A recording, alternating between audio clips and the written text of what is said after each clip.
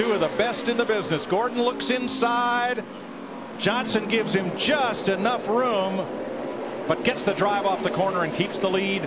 Five laps to go. That's where Jimmie in that 48's been so strong, Darrell, over these last 100 laps off the corner. Yeah, and he'll give him that inside getting in because he knows he's got that good line coming off. It gives him a good shot off the corner. And a huge traffic jam ahead of them right there. All right, now you see bump. Now you see Jeff Gordon. What he's trying bump. to do now, he's going to get that run off on the high side and then dive down right here. Reutimann has two flats. He may not make it to the pits. They are side by side for the lead. This is where Gordon will pack it down into turn three right there. I think he'll get him right here. Starter has the caution in hand. No, that's the passing flag. Reutimann has stopped and we're under yellow. Caution's out. Now, the drivers that were close on fuel, this is not what you wanted to see right here. I have no idea why David Reutimann did not go to the pits a while ago. I mean, no sense in that. He drove right by the pit entrance over there and kept going.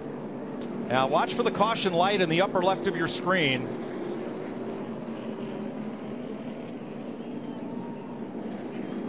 Now, there the light comes out. However, it is not the position of the cars at the moment of caution except to end the race. It is the last line they crossed of the scoring loops around the racetrack that determines the restart position. And the scoring is showing Jeff Gordon as the leader. Look at Ryan Newman. He, he gave Bowyer a shot getting down to the turn line. There goes Newman. Newman's going to take the lead. That's exactly what I knew would happen. That was not pretty.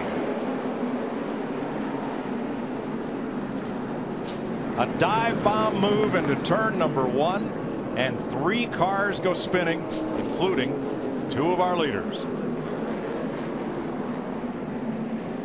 So now what do you do? Let's look at this. Probably the best view is from above. Let's watch them come to get the green. Gordon inside, Johnson outside. These two cars on the front, they got old tires. They can't get going.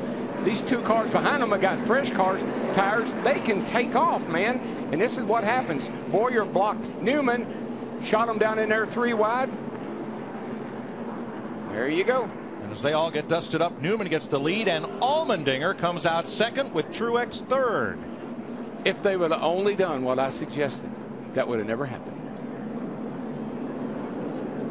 Jimmie Johnson comes down racing Gordon into the corner, but Bowyer already has the low groove, and there just wasn't room for three cars in that small a space.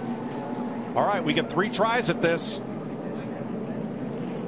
Yeah, when Bowyer dove to the inside, he actually got that shot from Ryan Newman, and that right there, you can see that wasn't going to work. Well, you know who's sitting in the catbird seat? The 88. He got fuel and left side tires. Riding with Clint Bowyer.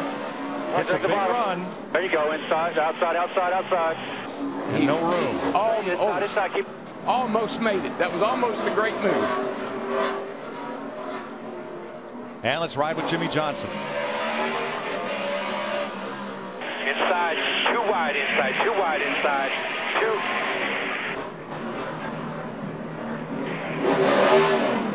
And let's ride with Dale Jr.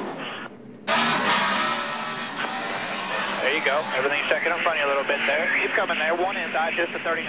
Stay low here. They're going to go low, go low, go inside, inside, one inside, one Ouch. inside.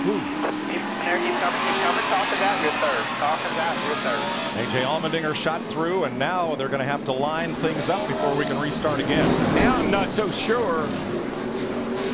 Here's what Jimmie Johnson had to say. What in the hell went wrong? That's a good question.